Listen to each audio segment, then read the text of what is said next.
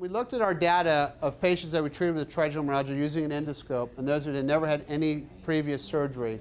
92% of them woke up from surgery pain-free. It's a very good number. If you read most of the published literature, it's about 80 to 85 percent. 5% of the patients said their pain was improved but not completely gone, and only 3% of patients said they had no improvement from the surgery. But these are people who you expect to find blood vessels. They have what's called typical trigeminal neuralgia. They have classic histories. You expect to see something. And we think that our numbers are so high here is because we're using an endoscope. And we think we're actually identifying some blood vessels that we would otherwise miss with the microscope. And we also believe we're getting a better decompression by using the endoscope as well because we can see around the nerve better to make sure that we're not just displacing the blood vessel around the nerve and, and contacting it in a different area. In the patients with atypical trigeminal neuralgia, about 57% of them woke up without any pain. 19% said they were improved, and 24% of them said they were no better. Again, for what's called atypical trigeminal these are also very good numbers um, but they will never be as good as they are for the patient with typical trigeminal. Um, in the patients that had previous surgery, who using a microscope where they woke up and their pain wasn't better, when we took them back and, and did it with an endoscope, 57% of them woke up pain-free, 29% of them said they were markedly better, and 14% said that they still had pain. So again, it suggests the endoscope was finding something that the microscope wasn't. We'll just move along here a little bit. We've also used this for hemifacial spasm. Hemifacial spasm is a disorder where you get twitching of the face. It's very similar to blepharospasm, but it's not just twitching of the eye, it's actually twitching of the entire face. It too is thought to be due to a blood vessel pressing on the nerve, but instead of being the trigeminal nerve, it's the facial nerve, and so the treatment is identical as for trigeminalgia, but you move the blood vessel off of the facial nerve as opposed to the trigeminal nerve.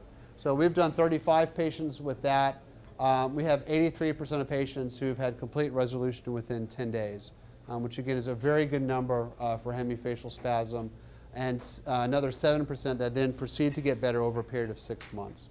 So 90% of our patients end up getting cured with the surgery with hemifacial spasm, which is, which is a very good number. You can also do tumors in the back of the head using the endoscope. Um, we've done seven acoustic neuromas.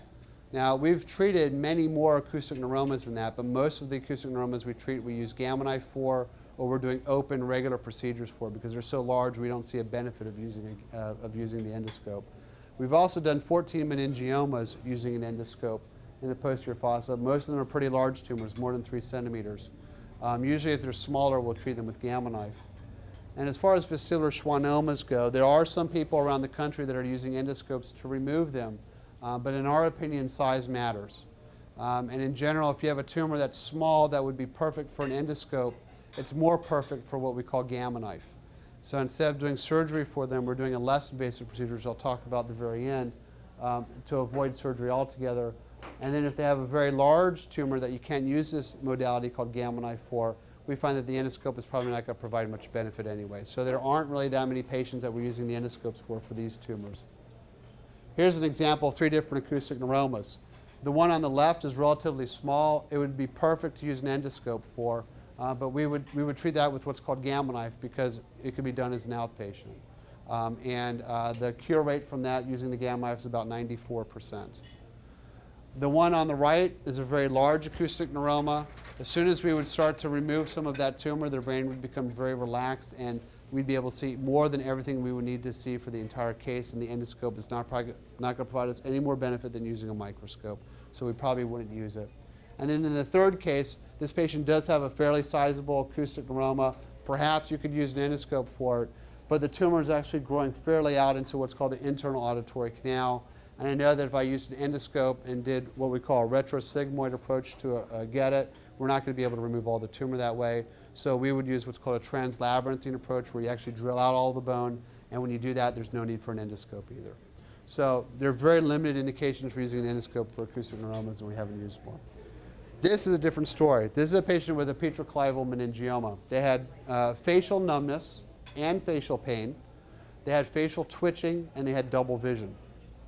And this is perfect for using endoscope for because it's not a huge tumor. It's in a delicate location, and we don't have much room. And so basically the approach is the same as we would use for trigeminal neuralgia or hemifacial spasm. Same exposure. But here we are, the endoscope is docked up. This is the tentorium. Here we are using both hands to, to debulk and remove the tumor. You can kind of see the seventh and eighth cranial nerve at the bottom here.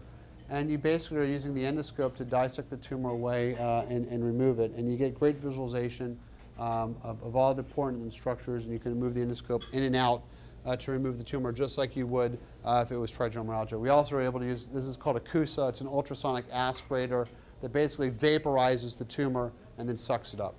All right, so this is the post-op image in that very same patient. You could barely tell that anything that they ever had any surgery. You basically see a little hole where, where the tumor was. Uh, the patient did great. They went home after three days from this surgery. Endoscope is fantastic for tumors like epidermoids. These are very soft tumors. They're like jelly. Um, you put the endoscope in there and they suck right out. The endoscope is fantastic. Those patients usually go home within a day. You could also use it for arachnoid cysts. The big question is whether or not you ever need to do surgery for arachnoid cysts. A majority of arachnoid cysts are merely birthmarks. We find them, patients have them since birth, they live their entire life with them, they don't cause any symptoms. On a rare occasion, they might.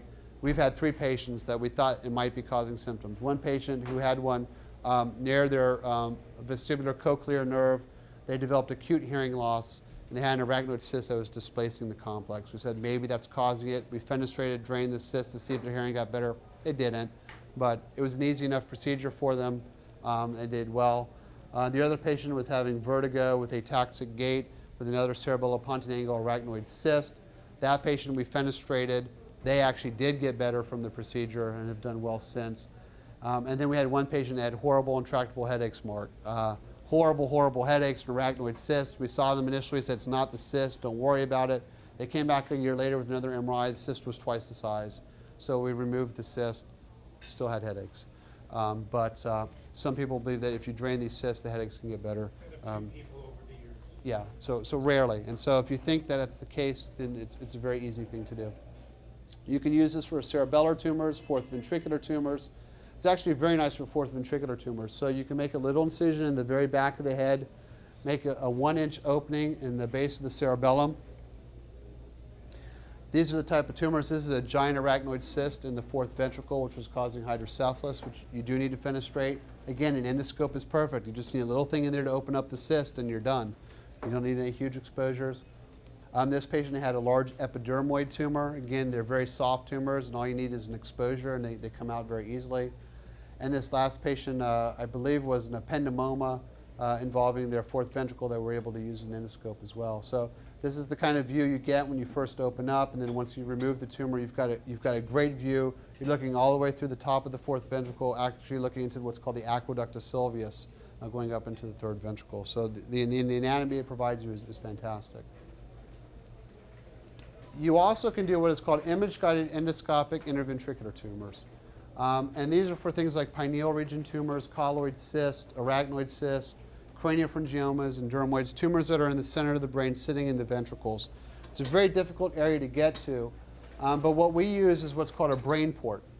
Um, and so in the old days, what you would do is you'd make a big incision in the head, you'd open up the brain, you actually cut part of the brain, retract part of the brain to get to the middle of the brain to get to the tumor. Nowadays, what we're using is we're using this neuronavigation, that GPS system. We're lining a specific trajectory to get down to where this area is, and we're using these little tubes. They're called brain ports.